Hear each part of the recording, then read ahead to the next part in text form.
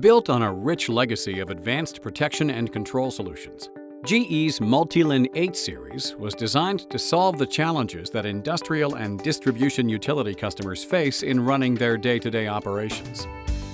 This includes maximizing system and process uptime, simplifying integration and maintenance, and extending the life of critical assets. Available as part of the 8 series platform, the Multilin 869 provides comprehensive, high-performance protection and control for large and medium-sized motors.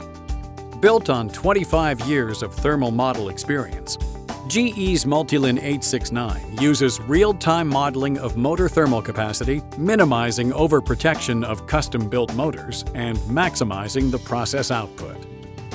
A patented signature analysis algorithm for broken rotor bars and stator turn-to-turn faults enables more reliable detection.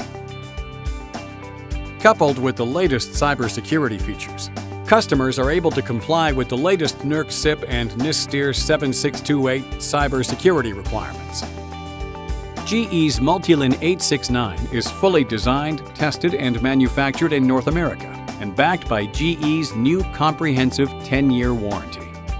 To deliver high reliability in challenging environments, harsh conformal coating is a part of the standard offering on all printed circuit boards.